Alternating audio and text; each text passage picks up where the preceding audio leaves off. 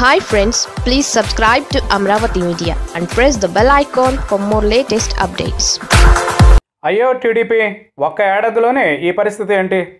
AP ప్రధాన ప్రతిపక్షం టీడీపీలో చిత్రమైన పరిస్థితి కనిపిస్తోంది. నేతలు ఖాళీ అవుతున్న పరిస్థితి పార్టీని తీవ్ర ఇరకాటంలోకి నెడుతోంది. అదే సమయంలో నాయకుల కొరత కూడా పార్టీని వెంటాడుతోంది. మేము నాయకులను తయారు చేస్తాం.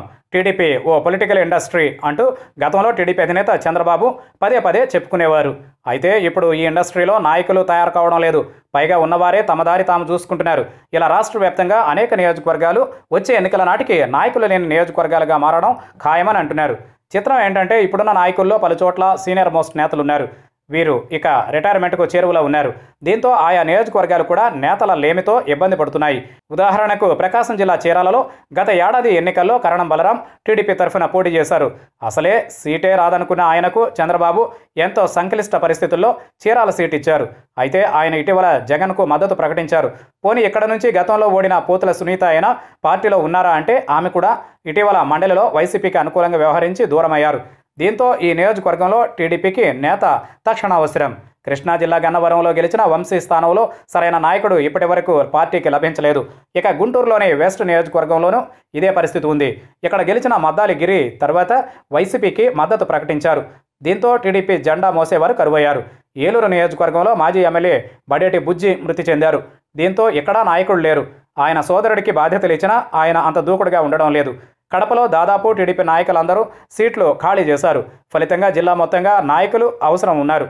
ఇంకా చెప్పాలంటే కడప జిల్లాలో రెండు ఎంపీ సీట్లతో పాటు పది అసెంబ్లీ సీట్లలోనూ టీడీపీకి నేతలే లేని పరిస్థితి.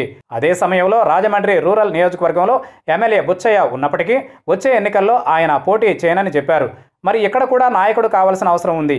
తూర్పుగోదావరి జిల్లాలో రంపచోడవరం గన్నవరం రాజోలు అమలాపురం అసెంబ్లీతో పాటు అమలాపురం ఎంపీ స్థానం నుంచి పార్టీకి సరైన అభ్యర్థులే లేరు. ప్రతిపాడులోనూ ఇదే పరిస్థితి. ఇక కృష్ణా జిల్లాలోని విజయవాడ పశ్చిమంలోనూ పరిస్థితి ఇలానే ఉంది. గతంలో పార్టీ తరఫున పోటీ చేసిన నాగుల్ మీరా స్థానంలో జలీల్ ఖాన్ను నియమించిన ఆయన ఆరోగ్య సమస్యలతో దూరంగా ఉన్నారు. దీంతో ఇక్కడ కూడా నాయకత్వాలేమి కనిపిస్తోంది. శ్రీకాకుళం జిల్లా రాజాంలోనూ గత ఎన్నికల్లో పోటీ చేసి ఓడిన మాజీ మంత్రి ఇప్పుడు పార్టీ మారాలనే దృష్టిలో ఉన్నారు. ఫలితంగా ఇక్కడ కూడా టీడీపీకే నాయకుడు కావాల్సిన అవసరం ఉంది. అన్నింటికన్నా ముఖ్యంగా తూర్పుగోదావరి జిల్లా తునిలో యనమల సోదరులపై తీవ్ర వ్యతిరేకత ఉంది.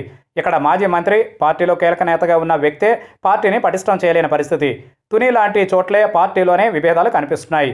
దీంతో ఇక్కడ కూడా యనమల సోదరులను తప్పించి కొత్త నాయకుడిని నియమించాలనే డిమాండ్లున్నాయి. ఇవి మచ్చుకు కొన్ని మాత్రమే. వాస్తవంగా చూస్తే దాదాపు యాభైకి పైగా నియోజకవర్గాల్లో పార్టీ పరిస్థితి దారుణంగా ఉందనేది నిజం.